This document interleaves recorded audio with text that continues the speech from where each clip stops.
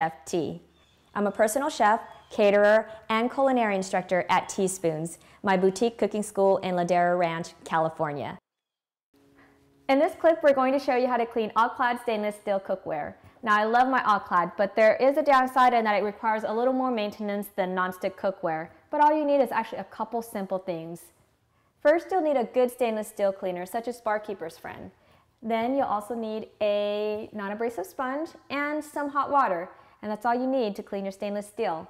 So I'm gonna go ahead and turn on my hot water and fill up my All-Clad with the hot water. Now you wanna make sure you completely cover all of the food that's caked on in there.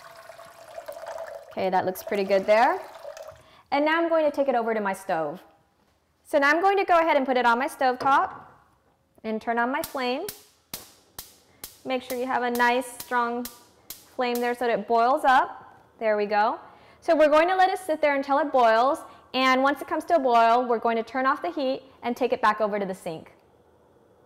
So now that I've removed my pot from the stove top, I'm going to take out most of the water that was in there until I have just about a cup left in there. Now just a little bit more. That looks pretty good there.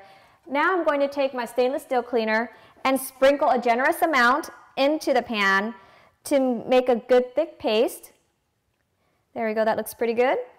So now I'm just going to let it soak for about 10 to 15 minutes to make sure that the stainless steel cleaner has enough time to just really soak in there and dislodge all of the food particles. And we'll come back in a few to give it a good rinse.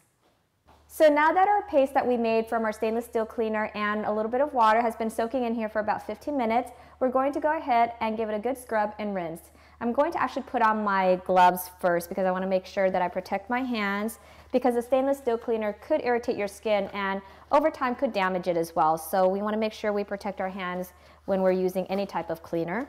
So now I'm going to take my non-abrasive sponge and just kind of give it a good scrub to get off all of the food and grime that's stuck. Now it's a lot easier now that it's been soaking in the paste there. So we're able to get out all the food there. I'm going to turn on my hot water and give it a good rinse and take off all the food there. I'm going to go ahead and take my dish rag, make sure it's nice and dry. It's looking beautiful. And as you can see now, it's nice, shiny, and clean.